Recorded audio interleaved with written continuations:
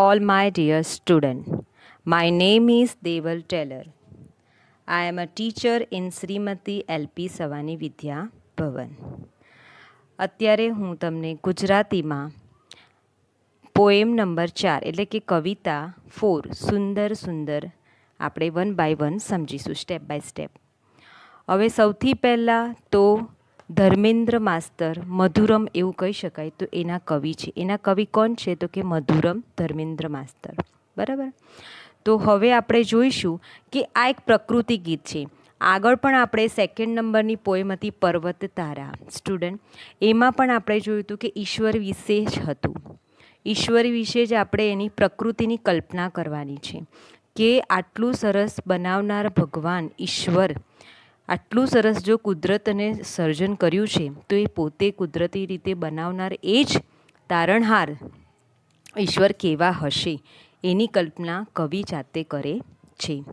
આ પ્રકૃતિ ગીત છે. પ્રકૃતિ ગીત છે એમાં પ્રકૃતિનું વર્ણન કરવામાં આવ્યું છે. પ્રકૃતિ ગીતમાં કવિએ સૂરજ, ચાંદો, નદી, સરોવર, વન, ઉપવન વગેરેને સુંદર કહ્યા છે. તેમાં વસતા માછલી, પંખી, માનવ વગેરે પણ કવિને સુંદર લાગે છે. તો આ કુદરતી દ્રશ્યમાં બધા જ રહેલા છે અને એ જ નદી સરોવરમાં માછલી, પંખી, માનવ જે રહે છે એ કવિને સુંદર લાગે છે. તો પ્રભુને એ બનાવેલી દરેકે દરેક વસ્તુ, ઈશ્વરની દરેકે દરેક વસ્તુ જો સુંદર હોય, તો કવિને એવું પ્રશ્ન થાય છે કે પ્રભુ પોતે કેવા સુંદર હશે. એવો પ્રશ્ન કવિના મનમાં થાય છે. એટલે કવિ પોતે એ જ વર્ણન કરે છે કે આ પ્રકૃતિ છે અને આ જ કુદરતી જે અંશ છે એ સૂરજ, જે ચાંદો, નદી, સરોવર અને એમાં પોતે જે સર્જનહાર છે એ પ્રભુ કેવા હશે તો એ આપણે આગળ જોઈશું. ઓકે? હવે આપણે જોયા પ્રકૃતિ ગીતમાં સૂરજ, ચાંદો, નદી, સરોવર વન ઉપવન. વગેરેને સુંદર કહ્યા છે. તેમાં વસતા માછલીપંખી માનવ પણ કવિને સુંદર લાગે છે. તો કવિના પ્રશ્ન, મનમાં પ્રશ્ન થાય છે કે આટલું સરસ જો વસ્તુ સુંદર બનાવનાર પ્રભુ પોતે કેવા સુંદર હશે? હવે આ જ કવિતામાં એટલો બધો ફાઇન સૂરથી આપણે એને ગઈશું કે જેથી આપણે એને રાગ સાથે ગાઈ શકીશું. તો ગાવાનો મિનિંગ એટલો છે? જ્યારે પણ એક્ઝામમાં બધાને ખબર છે કે ટીચર આપણને લર્ન પૂછવાના જ છે અને પરી એક્ઝામમાં પણ આપણે પૂછીએ જ છીએ. બરાબર? એ જ રીતે એકવાર હું રાગ બતાવું છું, પછી આપણે બધા ગાઈશું એને. બરાબર? તો એકવાર હું આખું એને કઈ રીતે આપણે રાગ કરીએ છીએ તે હું બોલું છું.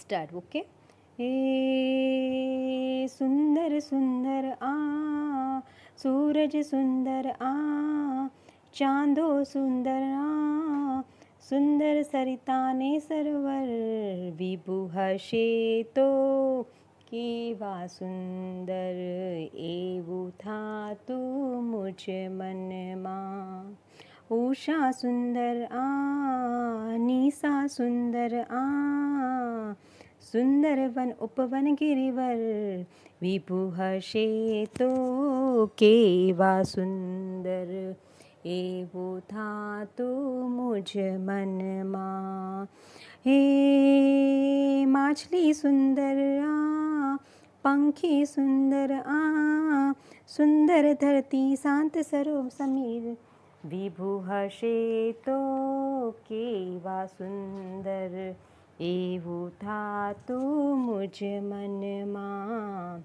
એવું થાતું મુજ મનમાં કવિતા સુંદર જીવન સુંદર સુંદર તારા આભ વિશાળ વિભુ હશે તો કેવા સુંદર એવું થાતું મુજ મનમાં હે ભાષા સુંદર આ આશા સુંદર આ સુંદર હૈયું ને માનવ ભાષા સુંદર આશા સુંદર સુંદર હૈયુને માનવ, વિભુ હશે તો કેવા સુંદર?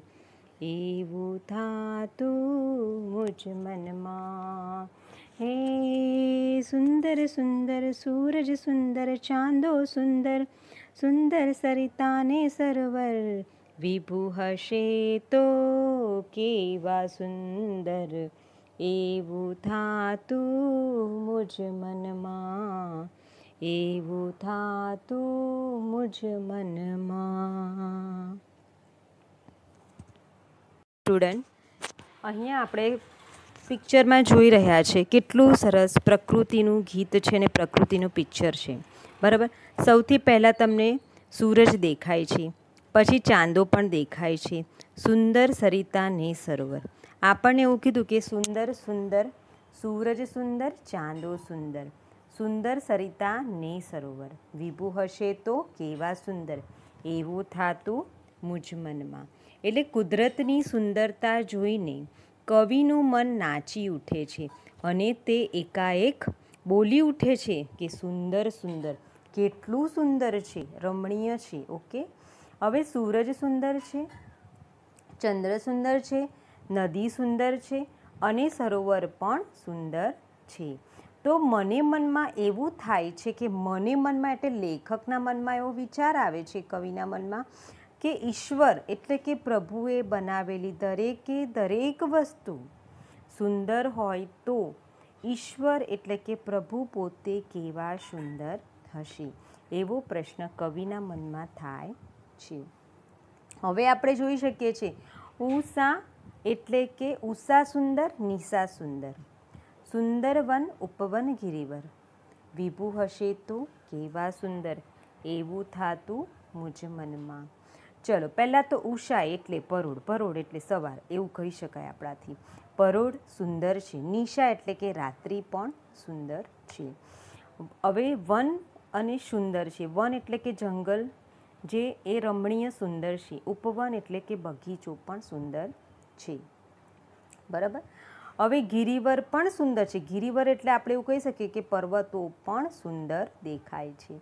મને મનમાં એવું થાય છે કે પ્રભુએ બનાવેલી દરેકે દરેક વસ્તુ જો આટલી સુંદર હશે, તો પ્રભુ પોતે કેટલા સુંદર હશે. બરાબર? હવે એ જ પ્રમાણે સ્ટુડન્ટ, હવે આપણે જોઈશું, હવે એવું કહેવા માંગે છે, માછલી સુંદર, પંખી સુંદર સુંદર ધરતી, શાંત સરોવર. બરાબર?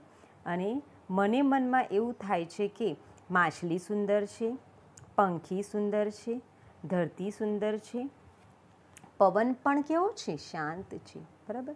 માછલી પણ જોવી એક પ્રકારની નથી હોતી. તમે જ્યારે પાણીમાં જોશો ને તો અલગ અલગ પ્રકારની રંગબેરંગી માછલીઓ જોવા મળે છે. અને કેટલી સુંદર વિચાર આવે છે કે કુદરતે આ કેવી રીતે અને કેટલી ફુરસતથી એને બનાવી હશે. પંખી પણ અલગ અલગ પ્રકારના અને કેટલો સુર અવાજ મધુર અવાજ છે એમનો. અને કેટલો સરસ લાગે છે. ધરતી પણ સુંદર છે. અને પવન કેવો છે? શાંત છે.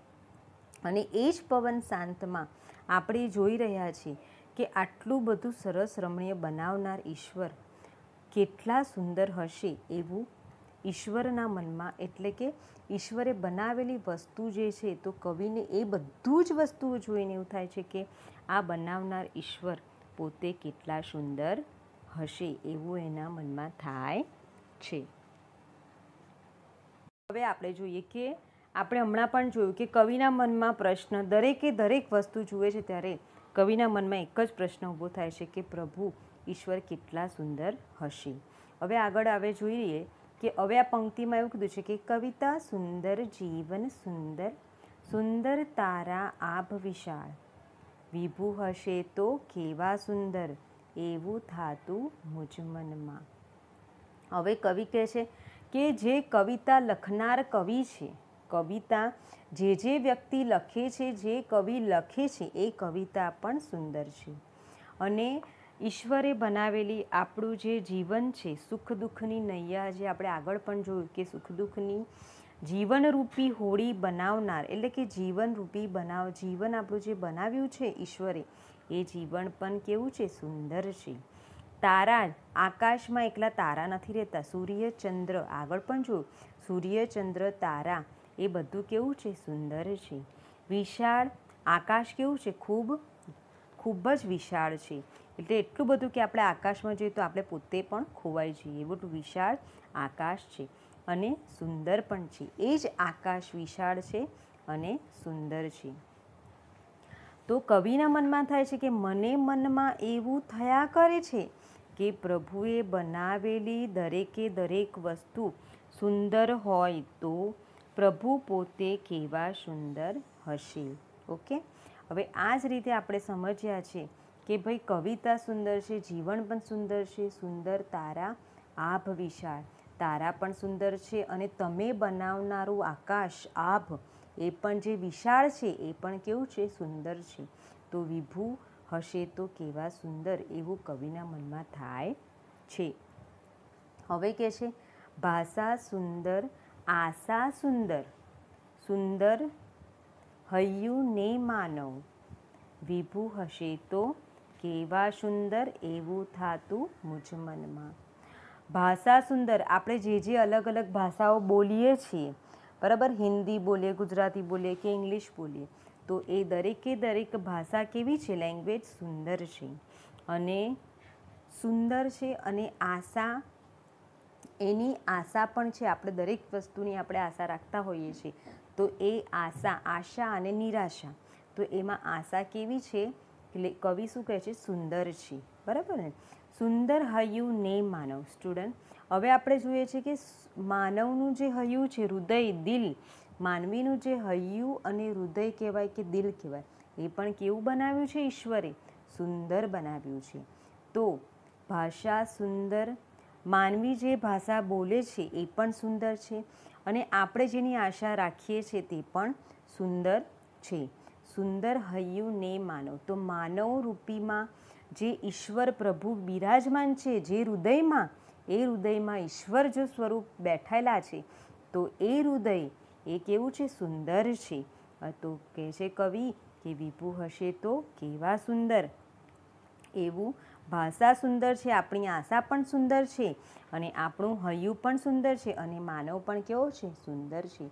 અને કવિ કહે છે, મને મનમાં એવું થયા કરે છે કે પ્રભુએ બનાવેલી દરેકે દરેક વસ્તુ સુંદર હોય તો પ્રભુ પોતે કેવા સુંદર હશે. તો સ્ટુડન્ટ, હવે તમને પૂરેપૂરી ખબર પડી ગઈ હશે. Okay. Thank you. Bye bye.